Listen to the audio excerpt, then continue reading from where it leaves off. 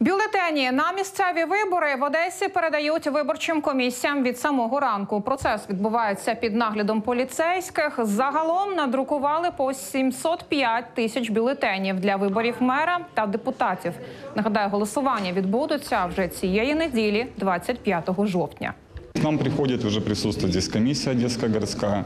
А, Они от нас эти бюллетени получают и на нашей же территории передает их районным комиссиям города Одессы четырем. Плюс, конечно, полиция сопровождает эти бюллетени по дороге на в помещение одесских районных комиссий.